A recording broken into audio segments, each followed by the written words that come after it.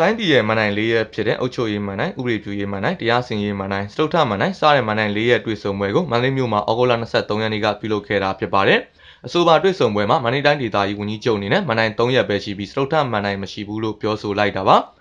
right to information လက်သင့်ခံတယ် နော်နောက်တစ်ခုကပါလဲဆိုလို့ရှိရင် safety of journalist တကဘာမှာပြောနေတယ်နော်ကျွန်တော်တို့လည်းဖမ်းကျင်နိုင်မဖမ်းဘူးနော်ဒါဒါဟုတ်အခုဒါပြောနေကျွန်တော်နာမည်တက်ပြောလိုက်တာနဲ့တပြန်တည်းရှင်းပါဒါကျွန်တော်မပြောပါဘူး safety of journalist ကျွန်တော်တို့လေးစားလိုက်တာလေဒါပေမဲ့နီးမှန်လမ်းမှန်မှန်မှန်ကန်ကန်တော့ယူရမယ်ဆိုပါစို့လူအုပ်ကြီးနဲ့တွေ့တယ်နော်ဓာတ်ပုံရိုက်ပြခွင့်တောင်းလို့မရလို့ရှိရင်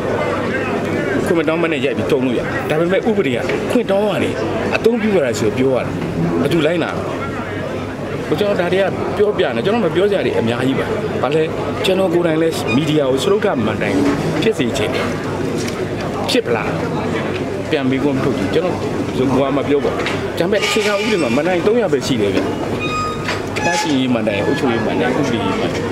နော်ဆုံးမမန်တိုင်းမရှိဘူး ဒါနိုင်ငံတကာမှာသတင်းတောက်တွေကကြီးတယ်သူတို့ကဟုတ်မှာအဲ့တော့ fifth man line ဆိုပြီးတော့ fifth pillar ဆိုပြီးပြောခဲ့တဲ့သူတွေရှိရင်ဟိုဒါတွေအမျိုးမျိုးပါဒါတွေပြဿနာအဓိကပြည်သူတည်အမှန်တရားအဲ့ဒီပွဲကိုမန္တလေးအခြေစိုက်သတင်းမီဒီယာသမား10ဦးကျော်ကလောလက်စာသတင်းရယူခွင့်နဲ့လောလက်စာထုတ်ဖော်ရေးသားခွင့်ရရှိရေးစာတမ်းပါအင်ဂျီတွေကိုဝတ်ဆင်ပြီးသတင်းလောလက်ခွင့်အတွက်တောင်းဆိုခဲ့ကြပါတယ်။ဒါအပြင်အခုတွေ့ဆုံပွဲမှာမျှော်လင့်ထားသောအဖြစ်များရှိပဲပြီးဆုံးခဲ့တယ်လို့လူငယ်မီဒီယာသမားတွေကဆိုပါတယ်။ ကျွန်တော်တို့ဟိုမန္တလေးမှာအခြေစိုက်တဲ့သတင်းသမားတယောက်အနေနဲ့ဆိုရင်ကျွန်တော်တို့ဒီလိုမျိုးမနိုင်လေးရဲ့သူ့ဆုံပွဲကိုအများကြီးမျှော်လင့်ထားခဲ့တာပါကျွန်တော်တို့ဟိုဒါပေမဲ့တကယ်တမ်းလှုပ်လာတဲ့ခါကျတော့ဟိုကျွန်တော်တို့မှာဝင်ကြီးချုပ်ကလည်းပွဲမပြီးခင်နေ့တစ်ပိုင်းတော့နေပြီးတော့မှသူပြောတာကြည့်တာပြောပြီးတော့ပြန်သွားတာမျိုးဖြစ်လာတယ်နောက်ပြီးတော့မှကျွန်တော်တို့တကယ်တကယ်တမ်းပြောဆိုဆွေးနွေးတဲ့အခါမှာလည်းဟိုဒီ authority ပေးတဲ့ပုံစံတွေမကြံခဲ့ဘူးသူကဟို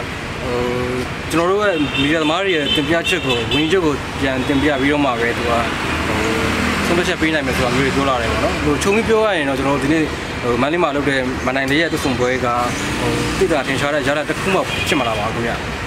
အခုတွေ့ဆုံပွဲမှာမန္တလေးတိုင်းဒေသကြီးဝန်ကြီးချုပ်ရဲ့မီဒီယာသမားတွေပေါ်သဘောထားကိုလည်းသိရှိလိုက်ရကြောင်းအထက်မြန်မာပြည်သတင်းသမားများအဖွဲ့ကကြေညာချက်တစ်စောင်ကိုလည်းတွေ့ဆုံပွဲပြီးမှထုတ်ပြန်ခဲ့ပါတယ်ခင်ဗျာ။